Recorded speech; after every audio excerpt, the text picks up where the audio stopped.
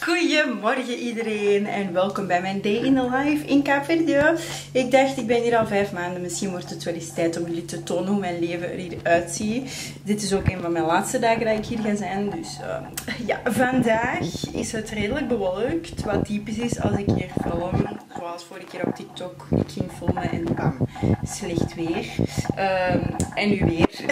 Zo, ik hoop dat het straks nog zonnig wordt, want wij gingen normaal gezien een sunset doen. Ik heb mijn huisgenoot. Maar zoals het er nu uitziet, gaat het niet lukken, denk ik. Het is gewoon een, een fout beeld van Capverde dat jullie nu gaan krijgen. Want normaal gezien is het dus altijd zonnig. Ik ga zelfs naar mijn, ja, hoe noemt je dat, beauty persoon. Ik ga mijn wenkbrauwen laten doen en mijn wimpers. Uh, ik heb hier echt uh, een permanente make-up ontdekt, wat echt mega nice is. Uh, dus nu laat ik altijd mijn wenkbrauwen kleuren. Dat blijft ongeveer twee weken. En dan laat ik ook mijn wimpers, zeg maar, kleuren en liften. Super nice, want dat blijft een maand... Nee, twee maand. Ja, echt super chill.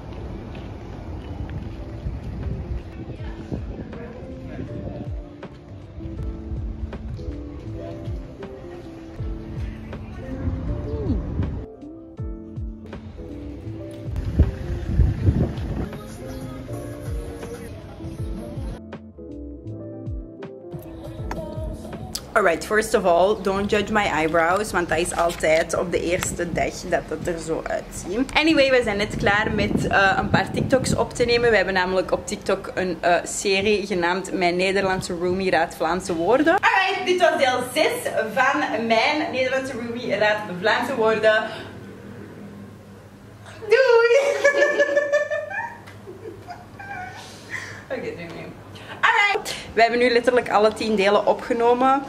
Aangezien ik overmorgen vertrek en we niet meer samen gaan zijn en dat niet meer kunnen opnemen. Nu gaan wij um, eten. Het is nu half zeven denk ik. Wij gaan nu um, naar een Italiaans restaurant waar ik nog nooit ben geweest in die vijf maanden. Alright, we hebben besloten om toch niet naar het Italiaanse restaurant te gaan, maar naar een restaurant boven de zee, aangezien het mijn voorlaatste avond is. En dat is echt een super mooie view. Dus ik kan het niet.